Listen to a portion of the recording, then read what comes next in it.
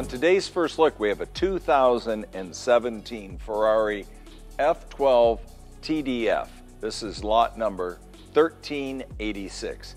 The name TDF stands for Tour de France, which was a famous endurance race that Ferrari dominated in the 1950s and 60s. The F12 Tour de France is based on the F12 Berlinetta, but features significant updates to the engine, aerodynamics, suspension to make it faster and more responsive.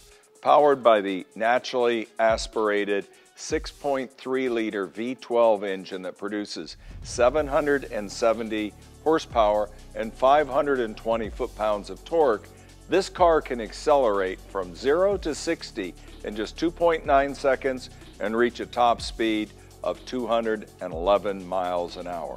Finished in Bianco Fuji with Livrea Nero Stellato stripes over Nero with Bianco stitching interior and features a unique livery with stripes and graphics that pays tribute to the original Tour de France winning Ferraris of the 1950s and 1960s.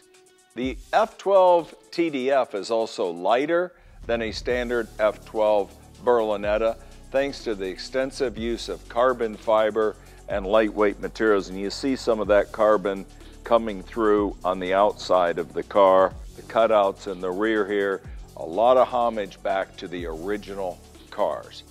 This is one of just 799 examples of an F12 Tour de France produced and the sale comes with a build book and an unopened set of luggage. This is a very rare car. I've had an F12. They are very lightning fast, and this is even a bigger upgrade from a regular F12.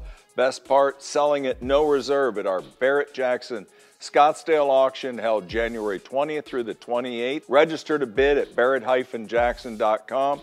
Take this amazing Tour de France home, and we will see you here in January.